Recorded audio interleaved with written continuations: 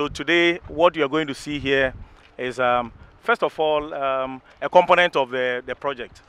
Um, in fact, two components of the project.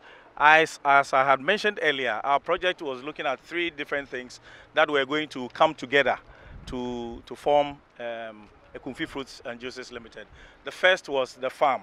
And so understandably, we spent a lot of time on, uh, on developing our raw material, that's the farms. And unfortunately, at some point, we were having uh, a backlash that we're not doing much. But it was because we wanted to pay attention to the raw material. Because for us, um, this, is a, this is a building. Uh, if there's a problem with it, we just have to pull some part off or we have to repair it and, and get it moving. Same with the processing machines. But the raw material was such that we cannot conjure. So we spent a lot of time developing our raw materials. So I'll be happy to take you around to some of our farms. I, I know if we want to do all the farms, it will take us the whole of the day and more. So what we see here is our, as our factory. Um, we, are, we are sited on a, on a 50 acre land that we procured in 2017, out of which we've, we've used about um, 15 or so acres to do this, this facility. This is a factory building uh, that has a, fa um, a factory floor of 100 meters by 50 meters, so that's quite huge. It is to allow us to plant our processing machine and also allow us to expand as and when we want to, okay, because we'll have the space here without necessarily touching uh, the block.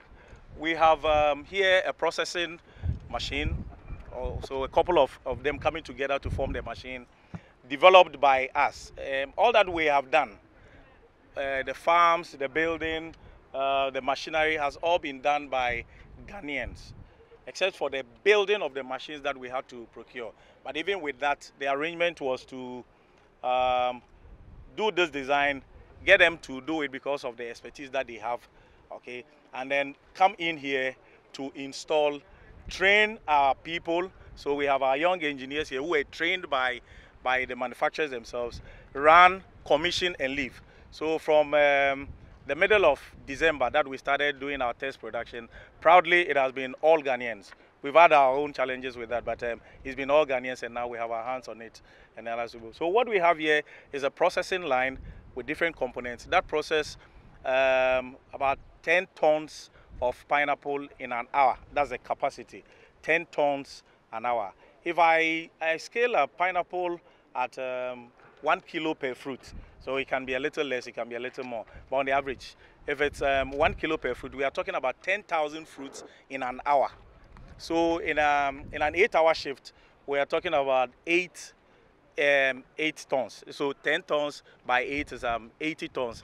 And by 80 tons, what I mean is that we are doing 80,000 fruits in a day. That's in a, in a single shift.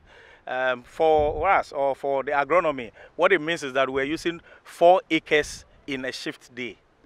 So that's so much. So that is why we have to spend a lot of time developing our, our raw material.